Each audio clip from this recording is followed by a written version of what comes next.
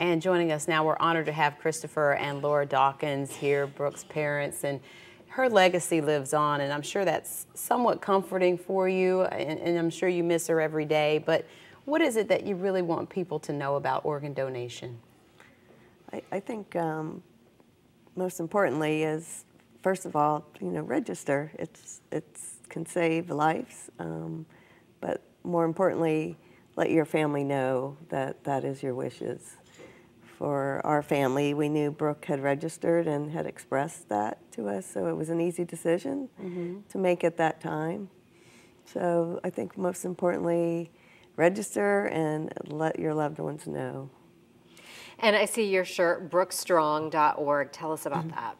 Um, well, after Brooke passed, we started a foundation, and the mission of that foundation is to spread the word of organ donation and talk to people and make sure that they understand how valuable organ donation is and how it can save up to five lives, and more importantly, it can save a life. And for every person, they know someone that to save a life can be someone very important to you.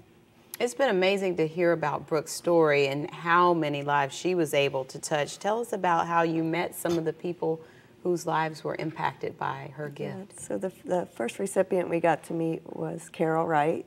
Uh, she was a mother of four, a grandmother of one that lived in Wisconsin. Mm. So Brooke's Heart actually flew from Orlando Regional here locally to Wisconsin, and we were able to meet her uh, about a year after the transplant, mm.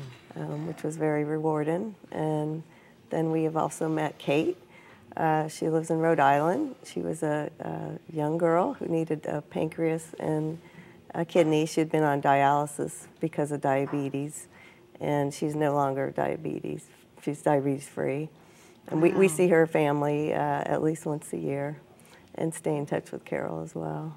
That's How beautiful. does that bring you comfort meeting these people who have their lives back because of Brooke? Well, I think when I look at their families and I realize the gift that the organs were able to give and the gift of life for them, and when I look at, especially when I look at uh, Kate's father and I see you know, his eyes don't exactly look like my eyes. He has a lot of joy in his eyes to still have his daughter. He is mm-hmm. very, very happy. Mm-hmm. And I think that um, having gone through what we went through as a family, mm-hmm. I mean, you really want to do anything you can to prevent someone else from doing that. I mean, it's a, it's a really horrible experience, obviously. Mm-hmm. And um, through organ donation, you can prevent someone else from having to go through that and to see their family enjoying life, and it's a wonderful thing. And you mentioned making sure your family knows. Does that come into play sometimes where there can be, you know, a struggle to make that gift if, say, you wanted to give your organs but your family didn't know and you made that designation? Well, yes, obviously. At, at the end, when that time comes, uh, you, you, know, they'll come to the family and they'll talk to the family mm -hmm. about it.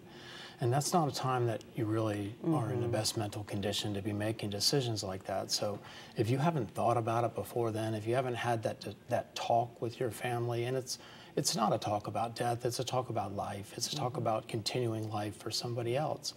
And so for your family to know that at that time, it's a mm-hmm. very easy decision. I couldn't imagine all the decisions, you know, things going through your mind, that's the last thing is to try to make that decision at that point in time. Right, right. So we can get to your website and work on ways to get that done and, and have that conversation early and get that word out early.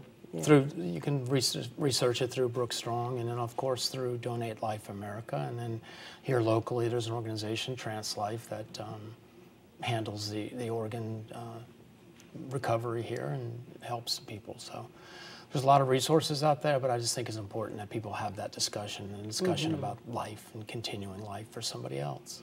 It is, and thank you so much for being here yeah. and sharing Brooke's story with us. So important, starting a lot of good conversations this yeah. weekend. Yeah. And we'll, of course, put all this on clickorlando.com as well.